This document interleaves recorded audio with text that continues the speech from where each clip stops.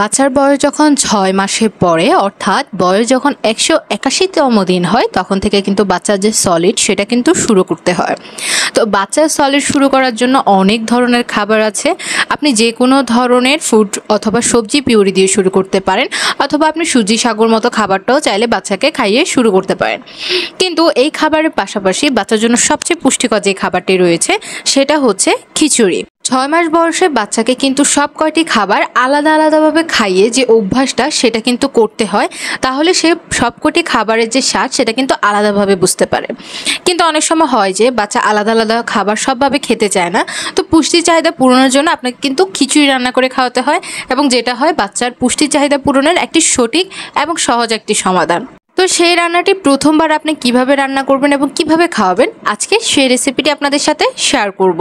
এই সময় বাচ্চাকে এমনভাবে খাবার তৈরি করে খাওয়াতে হয় যে খাবারটা এতটা পরিমাণে মিহি এবং ম্যাশ হবে যে বাচ্চা খাবারটা খুব ইজিলি খেতে পারবে। তো যখন বাচ্চাকে আপনি প্রথমবার খিচুড়ি তৈরি করে খাওয়াচ্ছেন, অবশ্যই চেষ্টা করবেন সেখানে কোনো ধরনের সবজি, মাছ, ডিম, মুরগি এগুলো ব্যবহার না করতে। আপনি আমার এই খিচুড়ি রেসিপিটা যদি দেখে থাকেন, তাহলে বলব আপনি আজই বাচ্চাকে এই রেসিপিটা তৈরি করে খাওয়ান, খুব ইজিলি বাচ্চা খেতে পারবে এবং হজমও করতে পারবে।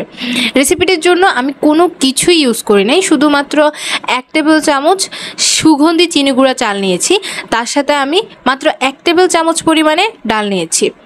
মনে রাখবেন, বাচ্চাকে প্রথমবার যখন চাল এবং ডাল খাওয়াচ্ছেন, তখন চাল এবং ডালের পরিমাণটা সমপরিমাণ রাখবেন। আমি বাচ্চার জন্য এখানে মুসুর ডাল নিয়েছি, আপনি চাইলে মুগ ডাল নিতে পারেন, বাচ্চার জন্য মুগ ডালটা সবচেয়ে বেশি উপকারী। এই দুটি উপাদান আমি ভালোভাবে ধুয়ে তারপর রান্নার জন্য বসাবো। তার আগে কিছু কথা বলি, সেটা হচ্ছে মুসুর ডাল এবং চাল আপনি যখন বাচ্চাকে খাওয়াচ্ছেন, আপনি কিন্তু প্রথম দিকে চেষ্টা করবেন এই চাল এবং ডালের যে পরিমাণটা, সেটা সম পরিমাণে রেখে ভালোভাবে ধুয়ে একদম সম্পূর্ণ সিদ্ধ হয়ে ম্যাশ হওয়া পর্যন্ত রান্নাটা করে যেতে। যখন আপনি রান্নাটা শেষ হয়ে যাবে, অনেকে আমি দেখি যে বাচ্চাকে এই পর্যায়ে ব্লেন্ড করে খাইয়ে দেন। দেখুন, বাচ্চাকে দুই একটা খাবার ব্লেন্ড করে খাওয়াতে হয়, কারণ সবগুলো খাবার অতটা পরিমাণে হাত দিয়ে ম্যাশ করে খাওয়ানো সম্ভব না। তো সেই ক্ষেত্রে আপনি দু একটা খাবার খাওয়াতে পারেন। কিন্তু সবগুলো খাবার আপনি যদি ম্যাশ করে না খাইয়ে ব্লেন্ড করে খাওয়ান, তো সেক্ষেত্রে হবে যে বাচ্চা ম্যাশ করে কোনো খাবার খাইতে, খেতে চাইবে না এবং এইভাবে না খেতে খেতে এক পর্যায়ে বাচ্চা শক্ত খাবার আর খাবে না ব্লেন্ড করে না দিলে খাবে না।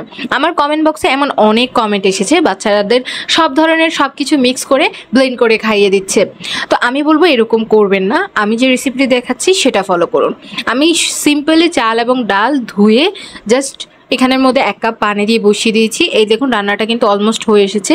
এভাবে যখন সম্পূর্ণ চাল এবং ডাল ভালোভাবে সেদ্ধ হয়ে যাবে, একটা ঘুটনি অথবা ম্যাশার দিয়ে আপনি ভালোভাবে ম্যাশ করবেন। প্রথমবার যখন ভাত, বাচ্চাকে খাওয়াচ্ছেন, তখন পানির পরিমাণটা একটু বাড়িয়ে রাখবেন। আস্তে আস্তে পানির পরিমাণটা কমিয়ে দিবেন। এরপরে একটা সবজি অ্যাড করবেন। তারপরে আপনি দুইটা সবজি অ্যাড করবেন।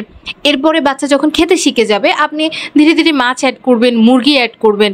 এভাবে বাচ্চা খিচুড়িটা আপনি রান্না করবেন। প্রথমবার যখন রান্না করছেন, তখন আপনি এখানে চালের এবং ডালের সাথে কোনো ধরনের মশলা লবণ ব্যবহার করবেন না। অনেকেই আমি দেখছি এগুলো ব্যবহার করে এবং মনে করে সিম্পলি আমরা লবণ খাচ্ছি, ওই সারটা বাচ্চারও লাগবে। আসলে এমনটা না। যে বাচ্চা কখনো লবণ খায়নি, সে ওই সারটা বুঝবে না। তো সে কীভাবে আপনি লবণ দিচ্ছেন না দিচ্ছেন কি না সেটা বুঝবে না। তো এইভাবে রান্না করলে বাচ্চা এভাবেই খাবে। আবার অনেকে এসে বলে যে আসলে বাচ্চাকে এইভাবে এই খাবারটা খাওয়াচ্ছি, আমার তো ভালো লাগছে না। তো বাচ্চার হাতে কি করে? তারা একটা বিস্কিট ধরিয়ে দেয়। তো দেখুন, প্রথম থেকে আপনি যদি বাচ্চাকে বিস্কিট খাওয়ান, সে ওই মিষ্টি স্বাদটা পেয়ে যাবে। তো সে কি করবে? আর এই ধরনের খাবার খেতে চাইবে না। আবার অনেকে বলে যে বাচ্চাকে সবজি, ফল, সবজি যদি সিদ্ধ করে দিই খায় না, তো বলব আপনি যদি বাচ্চাকে প্রথম থেকে বাইরের খাবারে অভ্যস্ত করেন, তাহলে বাচ্চা এই খাবারগুলো খেতে চাইবে না। আপনি বাচ্চার বয়স বাড়ার সাথে সাথে সবজিতে সামান্য লবণ, সামান্য মশলা ইউজ করতে পারেন এবং অল্প পরিমাণে অলিভ অয়েল বাটার ঘি এগুলো ব্যবহার করতে পারেন।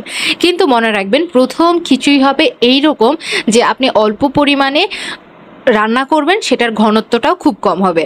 দেখুন, প্রথমে যেহেতু বাচ্চা খাবারের স্বাদটা বুঝে না, তাই সে খাবে না, মুখ থেকে ফেলে দিবে, আপনি দ্বিতীয়বার দিবেন, তৃতীয়বার দিবেন, এইভাবে যখন বয়স বাড়বে, সে আস্তে আস্তে খাবারটা চিনবে এবং খেতেও পছন্দ করবে।